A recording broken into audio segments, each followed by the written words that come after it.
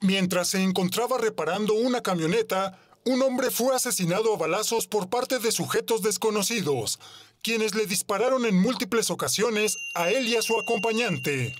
Los hechos ocurrieron este lunes aproximadamente a las 5 de la tarde, en el fraccionamiento Galaxias Real del Sur, cerca de la primera fracción de Crespo, cuando reportes al sistema de emergencias 911 generaron movimiento policial en la zona.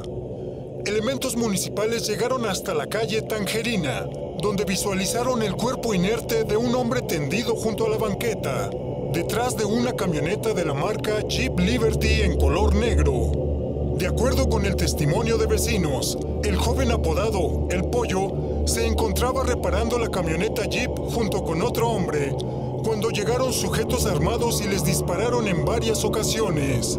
Mientras que el pollo nada pudo hacer para salvarse, el otro hombre que lo acompañaba corrió para salvar su vida.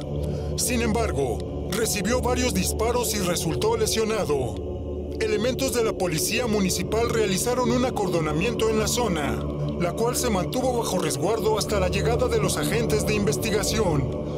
Sin embargo, en toda el área se registró desplazamiento de unidades policiales y militares, que generaron expectativa entre vecinos del fraccionamiento. Finalmente, el cuerpo fue levantado por el servicio médico forense y trasladado a sus instalaciones para la práctica de la necropsia de ley.